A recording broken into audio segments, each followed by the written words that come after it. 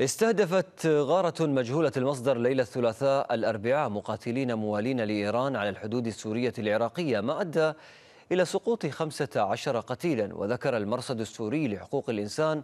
أن الغارة استهدفت شاحنات تحمل أسلحة وصهاريج نفط في ريف البوكمال في شرق دير الزور ولم يؤكد الجيش الأمريكي وقوفه وراء هذه الغارة